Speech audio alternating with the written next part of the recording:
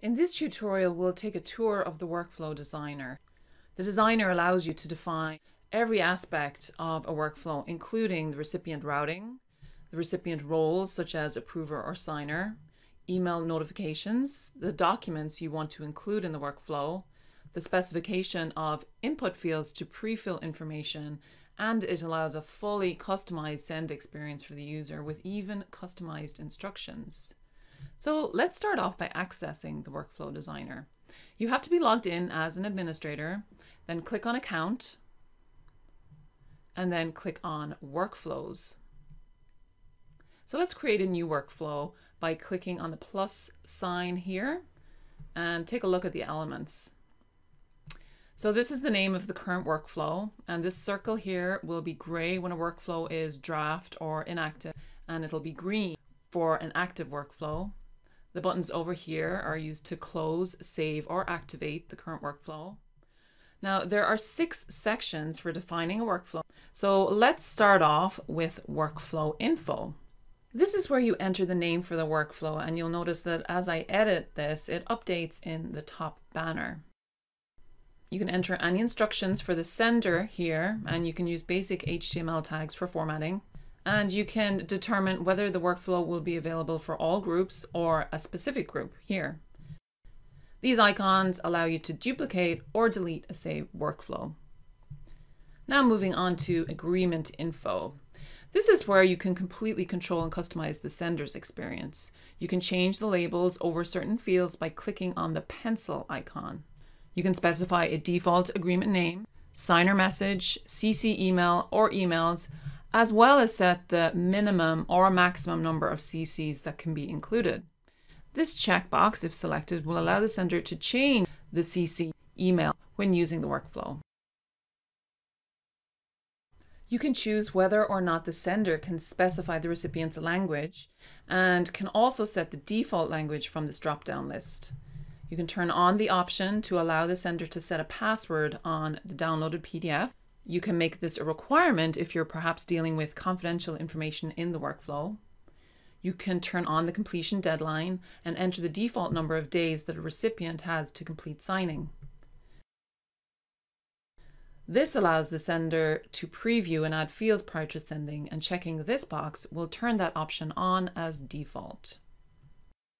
Now let's click on recipients, and I'll show you how easy it is to set up a recipient routing for your workflow.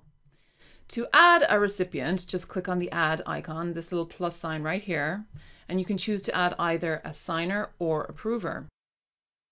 When I add a recipient, by default, the editable checkbox is checked, and you'll see that if I uncheck this, a red outline appears indicating that an email address is required.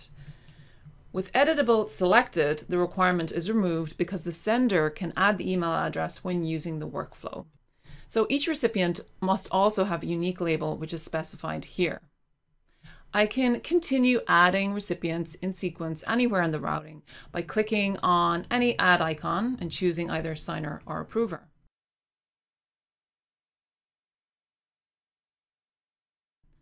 Now I have these three recipients set up in sequence. So let's take a look at adding recipients in parallel, which means that they can sign or approve at the same time. Click on the add icon and then choose parallel branches. I'm going to give this a unique name and then click on OK. So now recipient 1 and 3 can sign in parallel. Let's add an approver in parallel. I click on the add icon, choose parallel branches. Again, I'm entering a unique label. I'm going to switch the role to approver and then click on OK. Deleting a recipient is really easy. Just hover over and click on the trash can. Let's take a look at the attributes for each recipient. Just hover over and click on the pencil icon. So first of all, the editable checkbox is checked by default. If you uncheck it, then you'll have to enter an email address for the recipient. Leaving it checked means that the sender using the workflow will enter the email address, or you can also enter a default email address here that the sender can change. You can change the role here. You can choose whether or not the recipient is required and you can set an identity verification option for the signer and the sender won't be able to change this if you define it here. Now let's take a look at the emails section. This is where you'll set the email notifications that will be sent out when certain events occur during the life of the transaction.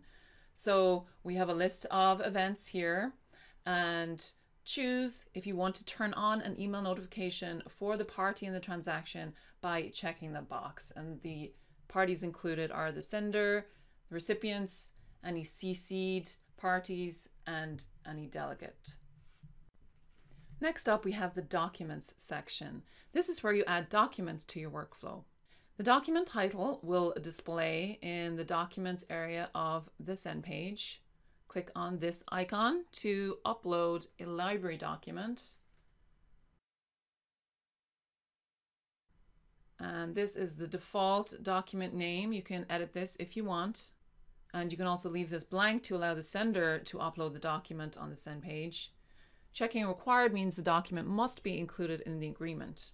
You can add multiple documents using this plus icon and you can delete documents using the X here. Finally, let's take a look at the sender input fields section. This section allows you to add fields that can be mapped to fields in a text tag document or library document and pre-filled with information by the sender. So to add a field, click on the plus icon, enter a title for the field, and and then enter the text tag name or the name of the field in the library document that you want to map to. You can optionally add a default value. The sender can then pre-fill information into these fields prior to sending. Select required if you want this to be required.